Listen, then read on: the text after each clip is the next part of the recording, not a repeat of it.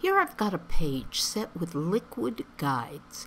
The image at the top has been set with a horizontal guide and a vertical guide. This means that both its width and height can change.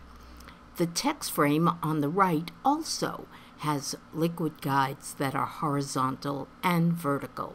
However, the text frame on the left only has a horizontal guide. This means that the height will be allowed to go up or down, but the width will remain constant. Let's see what happens as I drag. I drag with the page tool and you can see that the image is changing its width and height as is the text frame.